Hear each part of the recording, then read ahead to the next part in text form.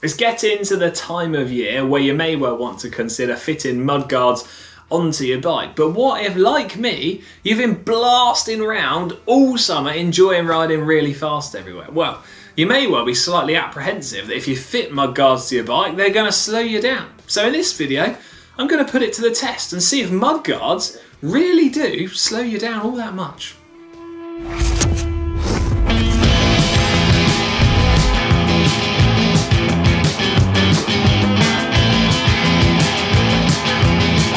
Going to keep this video simple, short and to the point.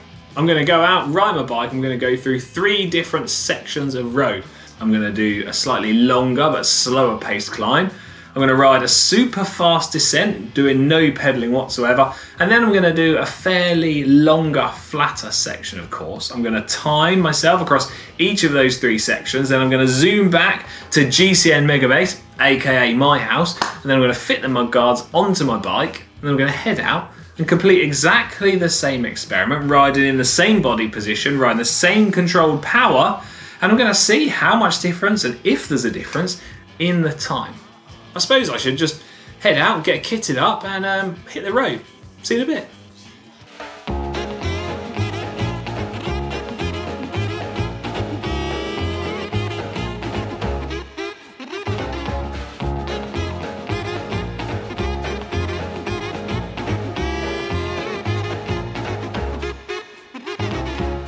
So I've finished my first lap with uh, no mud guards, as you can see. I don't know why I did it that way round, because my bike's got filthy dirty already. So I'm going to fit some mud guards onto my Canyon Grail. They are Canyon specific mud guards. It's kind of going to look a bit weird really. I've got mud guards on my bike, but it's all still muddy. Anyway, who cares? Um, cue some sort of time lapse of me fitting my mud guards on. See you in a bit.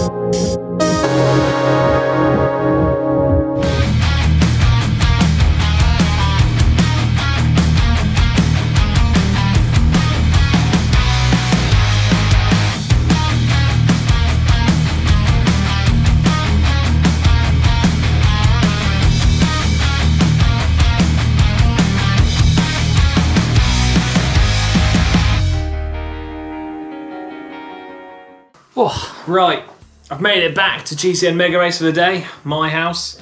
Got my little setup back in order again after dismantling it all to use the garage to fit my mud guards.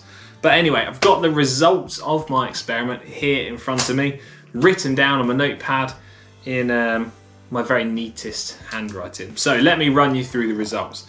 On the first run, with no mud guards fitted to my bike, I rode the climb in a time of 8 minutes and 14 seconds. I did the descent in 1 minute 18 seconds and I rode through the flat section in 8 minutes and 30 seconds. Now, I hit exactly the power target that I wanted to do on the climb and the flat. So on the climb, I rode at a controlled 250 watts.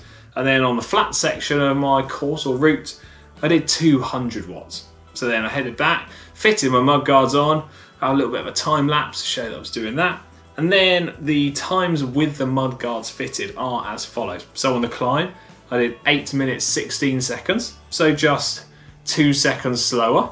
On the descent, I did 1 minute 22 seconds, so 4 seconds slower on the descent with mud guards.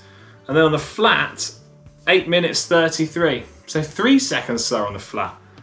And across all of those um, sections of my route or course that I was riding on, my target powers were all within one watt of each other.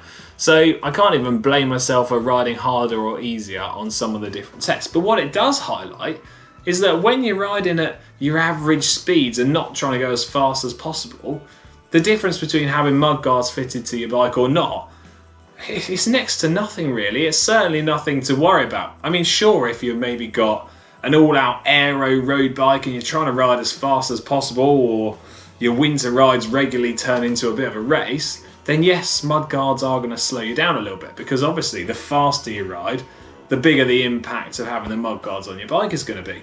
But certainly for the speeds that I ride at, it's not really going to have much of an impact whatsoever and certainly nothing to be concerned about. So I wouldn't even hesitate fitting mud guards to my bike and just leaving them on throughout the winter. So if I were you, don't worry about fitting mudguards to your bike. It's not going to be that detrimental to your speed. However, if you do have a super aero bike, well, firstly, you're going to struggle to fit mudguards anyway, and secondly, it will slow you down a little bit more than the results of the experiment on my bike because I was riding a gravel bike with big chunky tyres.